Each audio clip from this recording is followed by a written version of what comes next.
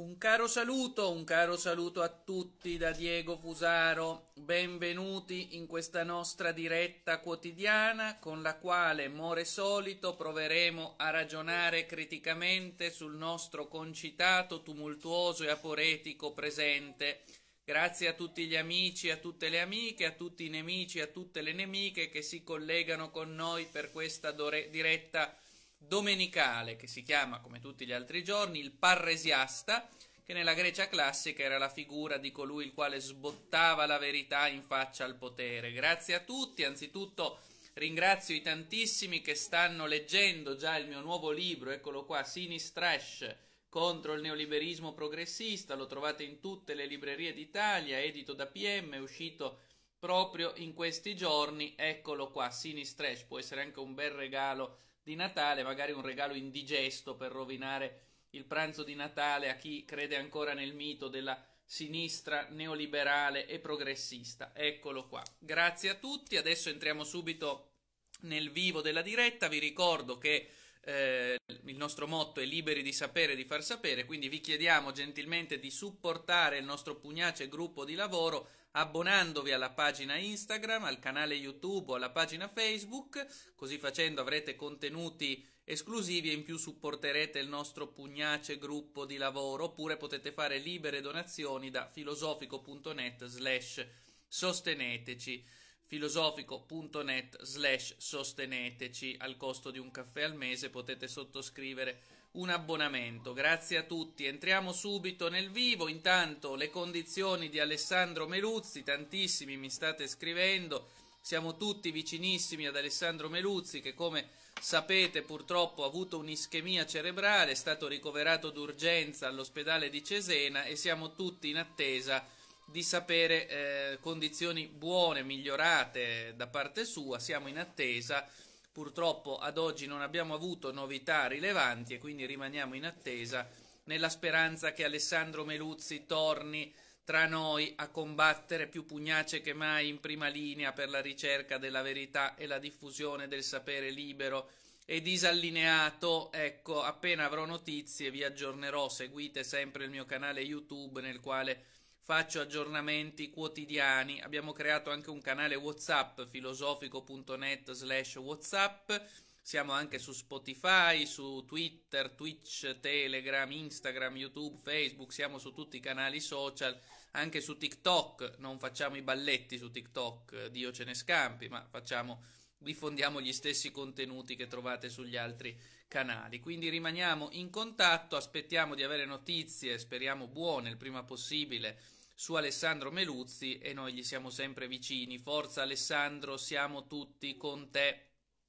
Poi c'è una notizia che ha per protagonista il padre di Giulia Cecchettin, mi pare si chiami Gino Cecchettin se non sbaglio. Ebbene, questa sera, domenica 10 dicembre, sarà ospite da Fabio Fazio nel noto e notoriamente pluralistico salotto di Fabio Fazio che è una gran cassa del pensiero unico politicamente corretto e questa sera ci sarà ospite Gino Cecchettin. Siamo davvero sbalorditi della rapidità con cui è riuscito a riconquistare le forze, si sente, se la sente di andare in televisione a parlare, veramente un uomo eh, dalla forza invidiabile. Ecco, io devo dire la verità, non oso neanche immaginare la condizione in cui si possa trovare, però trovare la forza per andare in tv eh, a parlare di questi temi è una forza invidiabile, ecco, mi limito a dire questo.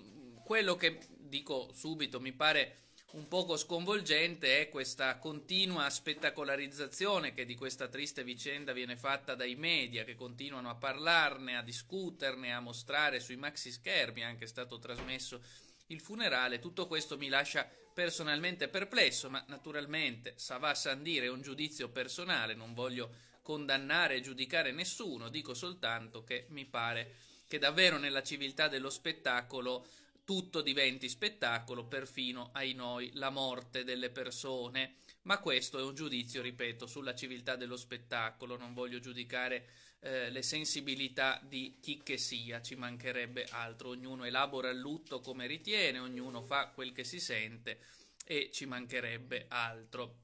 Bene, poi ci sono anche altre notizie eh, non so se avete sentito, sono tornati a farsi vivi, non che ne avvertissimo la, la mancanza, devo dire la verità, gli ecoattivisti come vengono chiamati, io personalmente preferisco appellarli ecovandali, dato che il loro attivismo per l'ambiente assume spesso, anzi quasi sempre, forme eh, palesemente vandaliche come bloccare il traffico sulle strade, imbrattare le opere d'arte o le pareti o, ed è il caso che mi accingo a discutere, tinteggiare di verde le acque. L'hanno fatto a Milano sui Navigli, l'hanno fatto a Venezia, forse anche a Torino, se ho letto bene. Insomma, la nuova moda degli ecovandali è quella di tinteggiare di verde le acque. Ora, io mi domando quale rapporto ci sia tra il tingere le acque di verde dicendo peraltro che non inquina e prendersi cura dell'ambiente. Ecco, a me non pare ci sia alcun nesso fra le due cose, probabilmente sono epimeteico io, voi sapete che Epimeteo era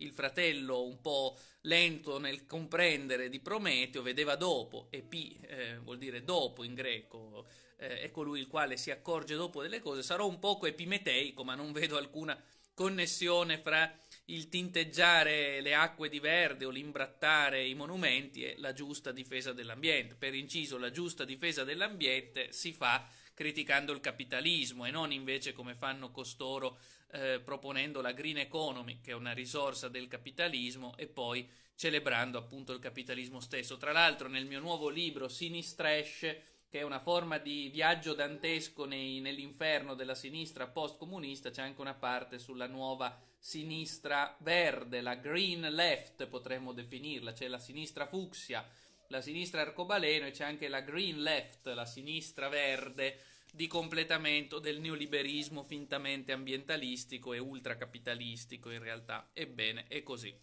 E poi siamo ormai giunti alla prova del 9 perché presto si dovrà decidere sul MES che fare. Il governo italiano della destra bluette neoliberale di Giorgia Meloni alla fine approverà il MES? Questa è la domanda che in tanti pongono.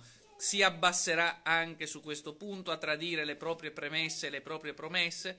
La massima parte delle proprie premesse e delle proprie promesse il governo di Giorgia Meloni le ha già tradite, l'abbiamo visto, un governo eh, totalmente allineato al verbo di Washington, dell'Unione Europea, delle banche, del capitale. Eh, prossimamente vedremo se si piegherà anche sul tema del MES. So bene che nel governo ci sono anche figure rispettabilissime come Claudio Borghi, Alberto Bagnai, che si oppongono da tempo all'Unione Europea e quindi anche al MES, però temo che siano una voce eh, un pochino, come si dice, una vox eh, clamantis in deserto, la voce di chi chiama, di chi urla nel deserto, ho il sospetto che alla fine questo governo approverà anche il MES e lì sarebbe davvero la caporetto definitiva di questo governo ampiamente criticabile. Diego, ma Foucault era arcobaleno? Bella domanda. Secondo Jean-Paul Sartre Foucault era l'ultima barricata innalzata dalla borghesia contro Marx e contro il marxismo, questa era la lettura di Sartre, io in parte la condivido, anche se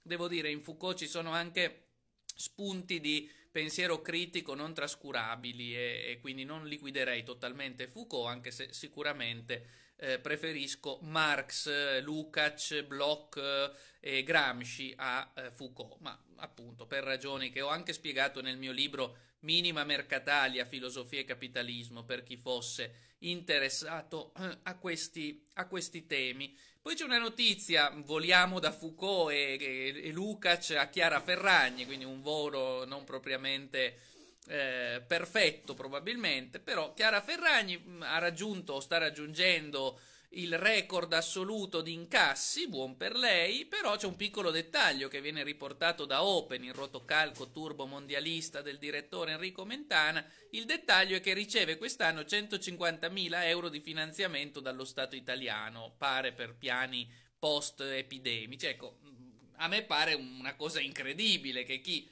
fattura lavorando, facendo onestamente, immagino quello che, che fa, eh, si veda pure aiutato dallo Stato. Ora, io penso che quel poco di risorse che ci sono andrebbero meglio destinate per il welfare, per eh, il lavoro, per eh, lo Stato sociale, per la sanità, invece no, 150.000 euro destinati, dice Open a Chiara Ferragni. Insomma, lo Stato neoliberale, anziché aiutare eh, chi fatica ad arrivare a fine mese, aiuta Chiara Ferragni, apprendiamo da Open. E va bene, una chiara immagine dello Stato neoliberale, non che ve ne fosse particolare bisogno, sapevamo bene eh, le intenzioni generali dello Stato neoliberale, il suo programma. Lo Stato neoliberale fa welfare a rovescio, cioè aiuta le banche, eh, i ricchi e non chi ha bisogno. Ecco, è il rovesciamento del keynesismo. Me ne sono occupato nel mio libro Globalizzazione, se foste interessati su questo concetto del welfare rovesciato che viene praticato dallo Stato neoliberale.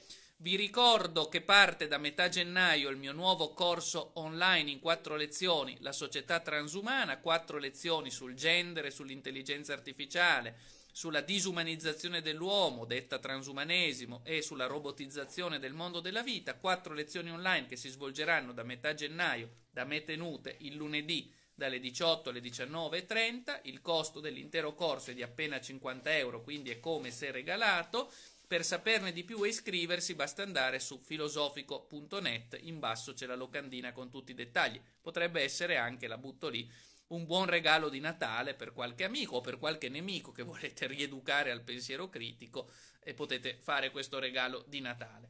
Vi ricordo anche i prossimi appuntamenti in presenza, ci vediamo il 12 dicembre a Castelfidardo, provincia di Ancona, di Ancona insieme a Gianluigi Paragone, poi ci vediamo il 14 dicembre a Udine per la presentazione del mio nuovo libro, eccolo qua, Sinistrash, critica del neoliberismo progressista. Ci vediamo il 15 dicembre ad Abano Terme con Andrea Cionci e Don Alessandro Minutella. Poi ci vediamo ancora il 18 di dicembre, sempre con l'amico Gianluigi Paragone a San Severino Marche. Poi ci vediamo il 22 dicembre in provincia di Lecco per una bella serata di filosofia e pensiero critico con Cosimo Massaro e Roberto Quaglia. Trovate tutto scorrendo le mie stories su Facebook, su Instagram, su Telegram o contattandomi, anzi se volete organizzare un evento, la presentazione di un libro che può essere Sinistrash, ma anche uno dei miei libri precedenti, una cena platonica, una conferenza filosofica, andate su filosofico.net alla voce contatti, mi scrivete, io vi do gli aggiornamenti su tutto. Grazie di cuore, vi ricordo ancora che eh, se volete dare un contributo al nostro pugnace gruppo di lavoro, il cui motto è liberi di sapere e di far sapere, potete supportarci. Come? È facilissimo, cliccate su abbonati durante la diretta su Instagram o sulla pagina Facebook in alto c'è la voce abbonati o su YouTube c'è il canale abbonatevi al costo di un caffè al mese, supportate il nostro pugnace gruppo di lavoro oppure potete fare libere donazioni da filosofico.net slash sosteneteci filosofico.net slash sosteneteci grazie di cuore a tutti e grazie ai tantissimi che mi stanno scrivendo mentre leggono Sinistra, eccolo qua contro il neoliberismo progressista. Grazie di cuore a tutti un caro saluto vespertino da Diego Fusaro